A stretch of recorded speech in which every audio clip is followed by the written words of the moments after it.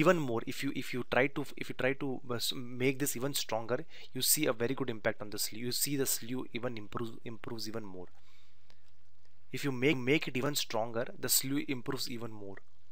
So in this case what we have seen is if you if you increase the drive strength of your victim you're actually able to reduce the crosstalk and the delay also also gets reduced. So that impact is already there.